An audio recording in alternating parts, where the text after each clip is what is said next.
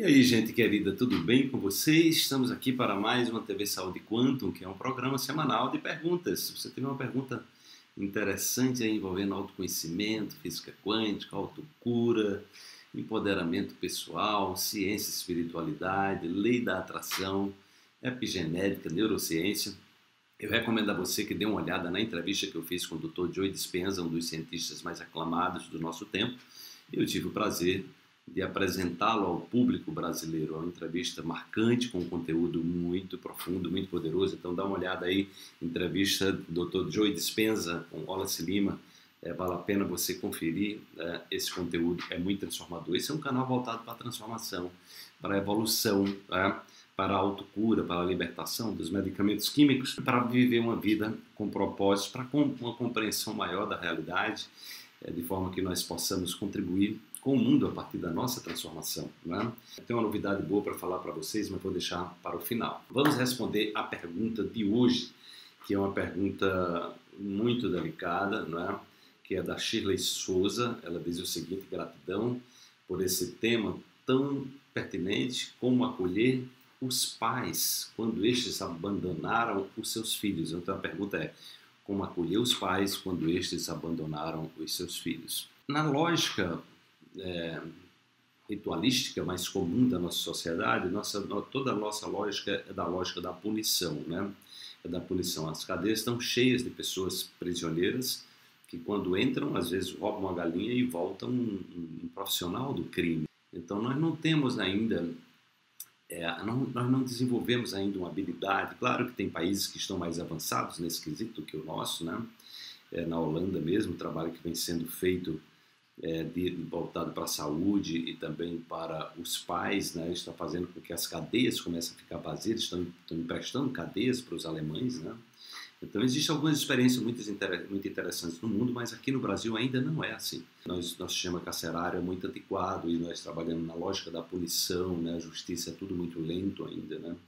E nós achamos que a punição é o caminho mais fácil, né? Claro que as pessoas quando que erram que cometem crimes, delitos, é, elas elas têm algo ali, elas têm elas têm algo que elas criaram um sofrimento, então é natural que elas precisem obedecer às leis, né? É, dentro do sistema familiar existem as leis é, que são regidas as, pelas constelações familiares. O Bert Hellinger traz aí as ordens, as chamadas ordens do amor. Né? E nós estamos aprendendo a conviver com esse, esse microsistema que faz parte de um grande sistema, porque todos nós estamos emaranhados é, com a nossa ancestralidade, né? Nós temos um, uma relação é, muito intensa com os nossos pais, que foram aqueles que fizeram a, a, a passagem nossa, né? De uma, de, de uma outra dimensão para a dimensão física, né? E, e a própria nossa família, que sempre tem uma complexidade nos relacionamentos, né? O que Bert Hellinger traz é o seguinte: todo processo de exclusão ele gera sofrimento.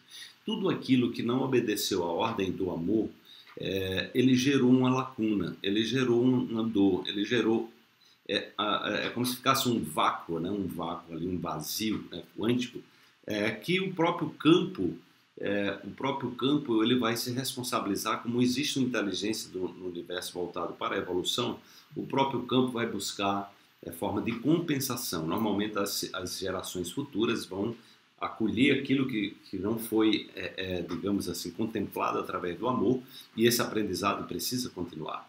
Eu fico imaginando que um pai e uma mãe é, que abandonam os filhos, né, é, é uma situação realmente de muito, de muito sofrimento. Sofrimento para o filho e eu imagino que para os pais, por mais ignorantes que eles sejam, é, não tem, porque é, é um vínculo, é um vínculo espiritual, é um vínculo é, energético, não tem como você quebrar esses vínculos, né?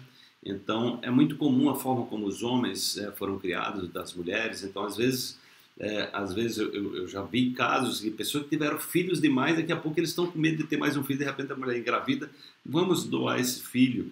E isso as pessoas não têm ideia e como gera um problema sistêmico para os pais, para os filhos, um emaranhamento seríssimo aí nesse processo, né?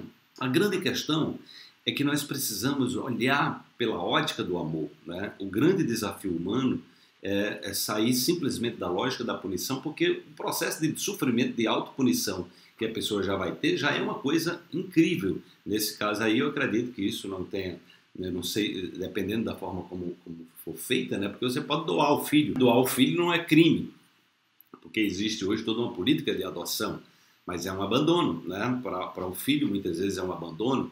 Para os pais também, eles podem estar fazendo isso lá pelas suas, devem ter lá suas razões, conscientes ou subconscientes. Às vezes esses processos são processos que vêm na própria estrutura familiar, essas lacunas afetivas, elas existem, as pessoas muitas vezes perpetuam o sofrimento do que o Bert Hellinger chama de boa consciência, que é você se comportar como todo mundo se comporta dentro do seu grupo e aquilo passa a ser uma coisa natural e até leve fazer aquilo do que romper com a estrutura, né?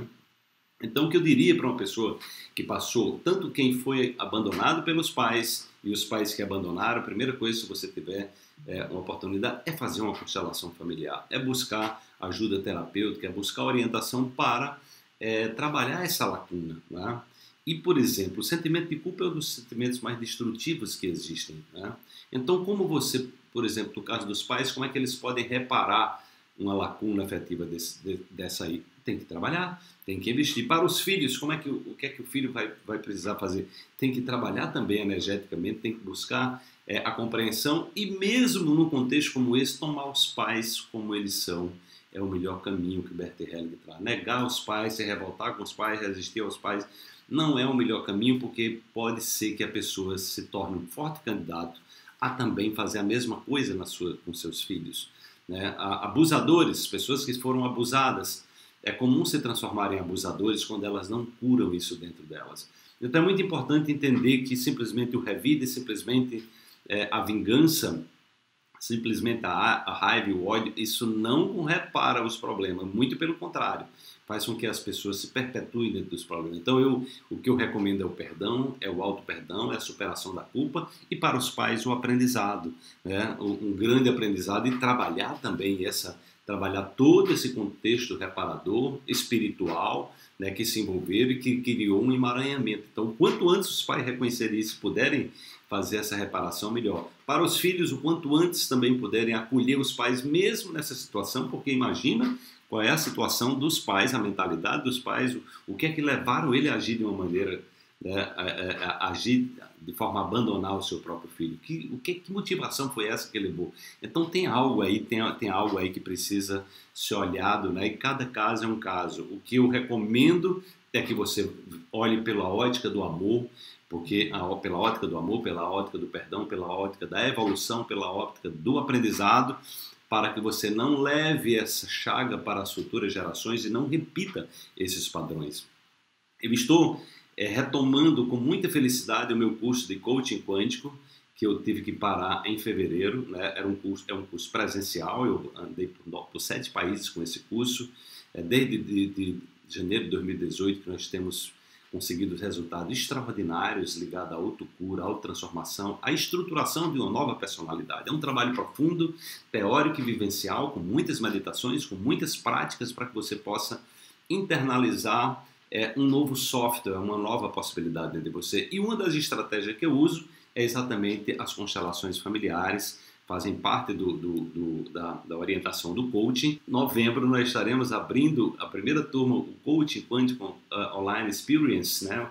É, que vai ser lindo eu conseguir modelar todo o programa presencial para fazer dentro de um grupo do Zoom, né, com todas as meditações, com todas as práticas, e aí você tem uma oportunidade de olhar para você numa dimensão de profundidade. E ainda esse ano ter um conteúdo extraordinário que possa alavancar a sua vida, né, te trazer uma compreensão maior da relação sua consigo, com seus pais, dos seus relacionamentos afetivos, dos seus relacionamentos profissionais e com a humanidade para que você possa se transformando, se curando, fazer a diferença no mundo. Eu vou deixar inclusive aqui Vou pedir para minha equipe deixar aqui na, na, edição alguns vídeos e depoimentos para vocês terem uma ideia da profundidade, do alcance que esse, que esse conteúdo tem e que de repente pode ser algo que aí nesse final de ano vai te ajudar né, num processo de transformação profunda, de compreensão de si mesmo, de auto-perdão, de auto-transformação, de evolução e autocura, tá? Então um grande abraço, se tiver, deixa aí o seu like, lembre de deixar o seu like se você gostou do conteúdo.